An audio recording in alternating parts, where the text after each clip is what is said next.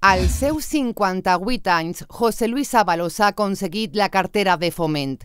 El número 2 del PSOE, el gran valedor de Pedro Sánchez, s'ha colat entre els membres de l'executiu que este divendres s'asseurà per primera vegada en la taula del Consell de Ministres com a titular de Foment.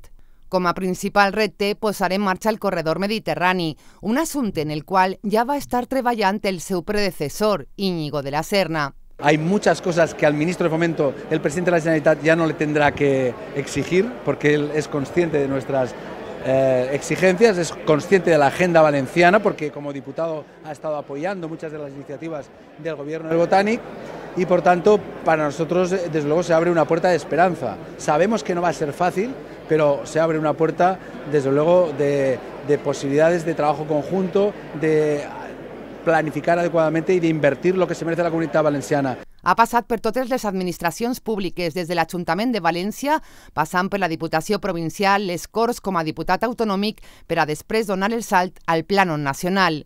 Este torrentí s'ha convertit en l'últim any en una peça clau de l'equip de Sánchez, i és que va ser un dels responsables d'organitzar la reaparició pública del líder socialista en 2016 després de la renúncia d'este a l'ESCO. El nou ministre de Foment va exercir com a portaveu i coordinador de la campanya de Pedro Sánchez, en la qual va guanyar les primàries. Per tant, era lògic que el seu líder ho premiara amb un de rellevància en el govern d'Espanya.